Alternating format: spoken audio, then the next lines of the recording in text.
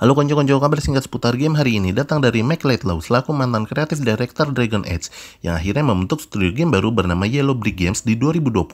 Developer tersebut berbasis di Kanada berisikan pengembang veteran dari developer AAA.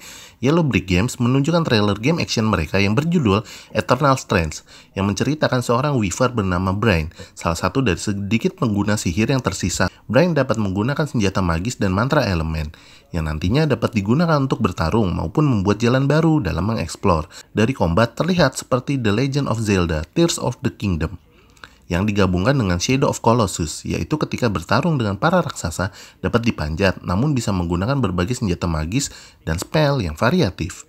Eternal Strength dijadwalkan akan hadir pada 2025 di PS5, Xbox Series XS, dan juga PC via Steam. Jangan lupa subscribe kami Only Room, saya Ohao, matur suun. For exclusive reveals all month long as part of our